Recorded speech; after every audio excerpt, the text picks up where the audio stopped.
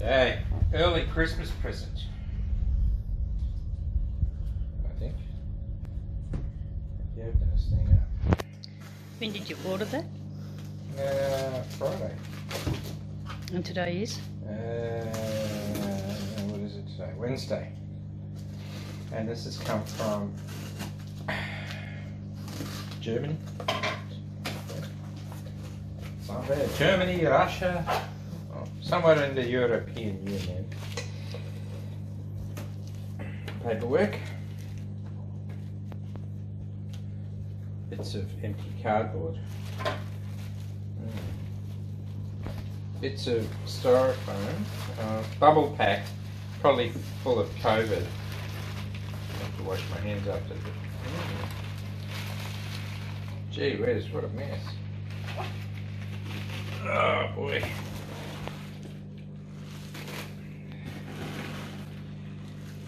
Well, there it is.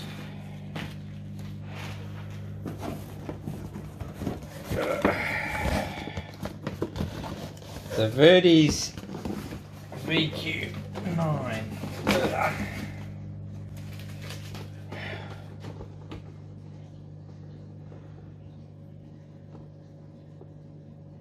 Yes, to go with all its brothers and sisters upstairs. Fun with that, eh? Few moments later. I'm going to surprise him. Screw this up for him and he'll have no choice. His OCD will kick in and he'll have to fix it up. Oh god, it's too big for my hands.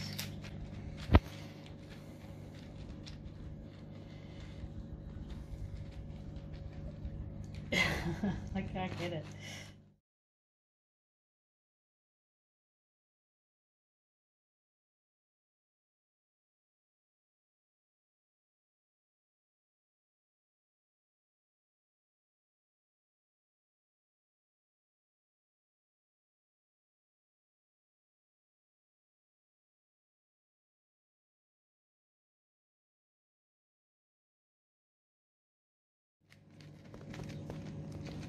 You missed it, did we?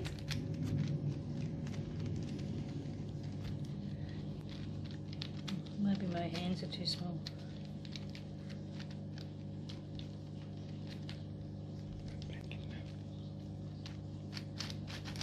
Alright, that should be enough.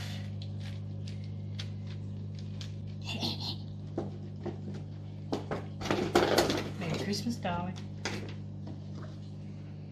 12 seconds later. Leah! Much later. Okay, well, I've uh, come across an issue with this 9x9 cube, and that's that some of the corners, the actual stickers, um, haven't been able to sit flat because of the uh, casting marks left behind. But it's a it's a simple fix. Okay, so I'll show you the, the, the fix that I've come up with. So to try and set the camera up to, to catch one, got to find uh, find a good example first. Okay, so here's an example on this sticker here. You can see the problem. The casting mark on the uh, on the actual cube itself has um, has prevented the sticker from sitting flat. So it's a fairly easy thing to fix because the sticker isn't sitting flat. Very easy to remove there with the tweezers. I'll just put that to one side. I grab a scalpel and scrape it flat bit easier when you uh, try not to move the cube so it can be videoed properly.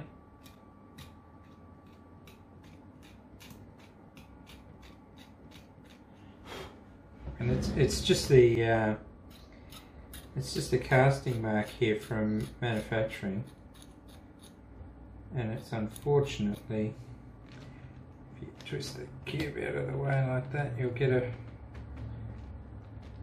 better access to it. Just gotta make sure you can still see that.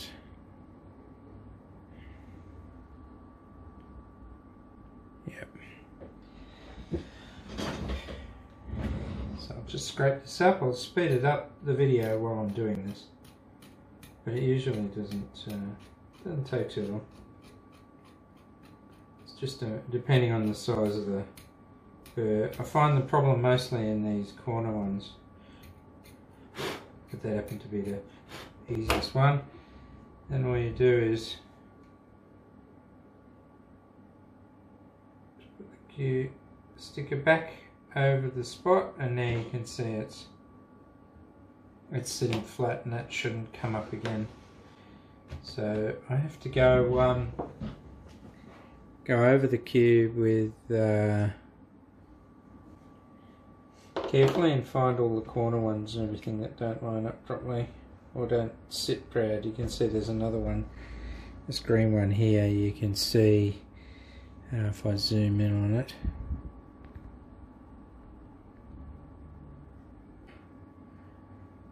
I'll, move the cube. You can see the light there is hitting it just perfectly to illustrate the problem here where the, the casting underneath is causing a lip on there. And I'll just uh, demonstrate that again with the corner one. As the stickers aren't sitting down properly, they do lift off and that was how I found the problem I had a sticker fall off and you can see there I think uh, on the camera you can see the casting mark across here. So all we need to do is just get rid of that casting mark. It's a simple matter of scraping it off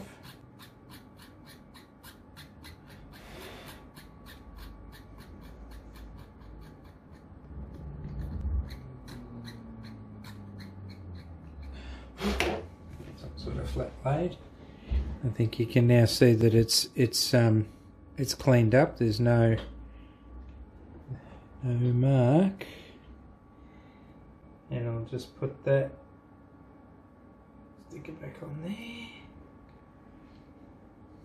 And you can now see that the sticker is sitting nice and flat and won't come up. There you go, simple fix. Okay, well, someone suggested that I show you how I solved the 9x9x9 cube. So here we are. This is step one, is to complete one center. I choose the black one because it's got the V on it. I hope I'm not making an incorrect assumption here, but I'm sure that most people who are watching this know how to solve at least Rubik's Cube. So go and have some fun working out the first layer all on your own and then the opposite layer. So here's some steps I took. Okay, two centers done. Three done. Black, yellow, and orange. Okay, so what do we have here now? We have black, blue, orange, and yellow done. So we're only after now the green and red. These are the two left. So basically, as we solve in this case, everything, all the other centres are done. We do the red and the green centre parts. This is my solution anyway, there are others. Uh, I do the whole centres for these two simultaneously. And uh, when that's done, then I start to do the uh, along the edges here. Okay, well, I'm going to show you to move these two cubes with these two. So, I'm not actually going to show you the full solution that I have for this cube. I'm just going to show you a couple of the things I do. Once you can see what I've done here, you can do that for every square across these two centers uh, to line them all up, uh, both on their own color. I'm not going to do a detailed explanation of how I do this whole cure. I'm just going to show you a couple of simple steps that I take and that should be enough to assist you to solve the cube on your own.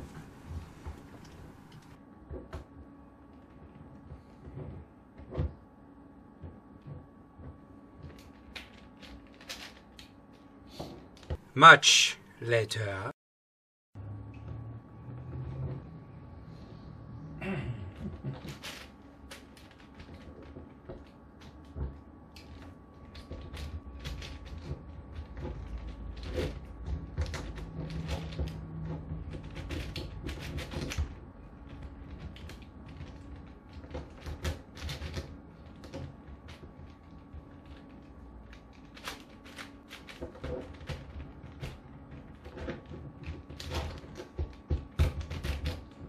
And there you go. Okay, they're all, all the centre parts are done. So now we just have to start work on the edges. I'm not going to film all that. I Might film bits of it. Okay, I'm going to go over how I do the edges. Okay, so I do this, I build this up slowly, a piece at a time. This is the way I do it. So I'm going to try and put this red and black in here. So obviously this is the wrong one. This is the one that's meant for the other side here. So you've always got to test it make sure it's going to go in there. Uh, the other red and black one is somewhere else. Uh, there it is, down here. So if I turn that up, so it's on the same level. Okay, test it. Okay, so that's definitely there. But what I'm going to do at the same time is I like to do two at once. So I either have to find the green one that's going to go green and red that's going to go here or the blue and orange that's going to go there. So I'll quickly look for that blue and orange. Well, there's a blue and orange there. Just make sure that that's going to be the, the right one. Uh, and the trick is if that was to move to this thing, it would be upside down. If you turn this top over there, it would be the opposite. So that means it's correct. Because if it's wrong there, it would be right here. So what I do is I move the black into this position. This one here, so that lines up. I'm going to put this one in. Okay, so I'll just turn this top so it's there. I'll move that orange so it's in that position. Move the top back and turn that back around so it lines up. So you can see there the orange and blue there. And at the same time we did the other two, which was these two. So you basically just do that one little bit at a time. You build it all up and like you build three there and three there and then four and then you put the whole thing together. I'll come back when it's all edges. Once they're all the same color on each of these edges through the whole cube, you've basically turned it into one of these. Okay, which is my objective. So once I've turned it into that, I can solve it the same as I solve that piece of cake.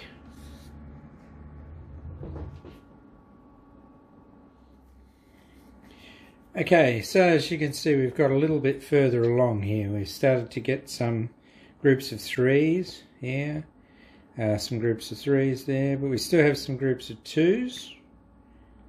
Um, but all the ones, all the single ones are gone now. So getting uh, very, very close. Um, so let me show you, uh, maybe if we can do a quick one here with uh, where we're doing three. Uh, where are we? So, okay, I've found what I'm looking for here. I'm going to move these two orange ones to join up with that. So I make a group of three. Oh, still a bit stiff this cube. And I'm going to put these, the blue and the yellow uh, there to match with that blue and yellow there. And that way we sort of get two birds with one stone. So I move that till it's a group of three. Um, and that's going to end up there, so I'll move that across there. Okay. And then put it back, and there you can see that's the three lined up. So I'll keep going with that, and I'll come back when, because uh, of course we've got groups of three, so pretty soon we're going to be able to make a Oh, we can make probably make a whole one somewhere actually while you're here. Find the whole group there and then I'll come back.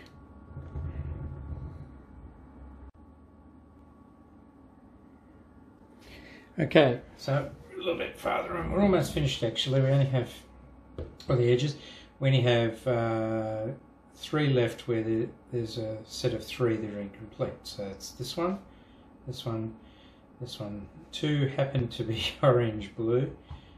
Um, so what I'm going to do is I'm going to put this pair of orange blue here, move this black and red to here, and move this orange and blue back here so that we brand the right way. So move that there. Uh, turn that that way. There, like Okay, so now, as you can see, they're all in groups of three or four. Some centers are out of place. So I'll uh, get that ready so there's only like a couple left and then I'll come back and we'll go over the last ones together. Okay, well, we've moved a little bit further along, and you can see most of the edges are now joined up, and there's three to go. So we've got to change three. Uh, let's see, which three? So this one here belongs here, this one belongs here, and this one belongs here. So you can do all sort of three at the same time. I'll move that one down here. And I turn it, it's going to be there, so I need to move that one back. Move back there. And there you go. It's easy as that. So now what we've effectively done, if you consider just the edges, is we've turned it into a Rubik's Cube. So that's it. So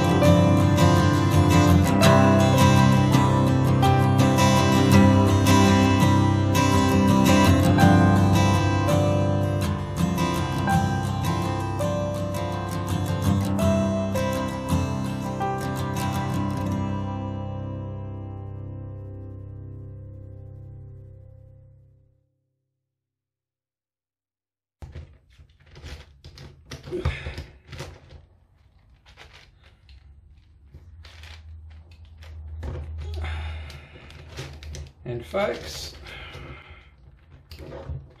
we are done. Yeah, oh, so I was spinning it that way.